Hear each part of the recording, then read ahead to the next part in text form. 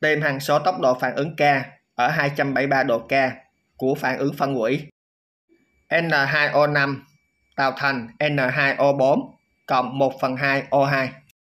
Biết rằng ở 300 độ K, năng lượng hoạt hóa là 111 kJ trên mol và hằng số tốc độ phản ứng là 10 mũ trừ 10 S trừ 1.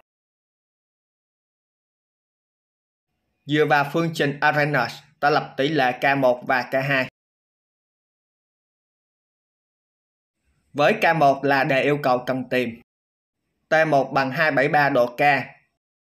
K2 bằng 10 mũ trừ 10 S trừ 1. T2 bằng 300 độ K. A1 bằng A2. EA1 bằng EA2 bằng 111 kJ trên mol. Đổi ra bằng 111 x 10 mũ 3 J trên mol. R là hằng số khí lý tưởng không đổi bằng 8,314 J trên mol nhân K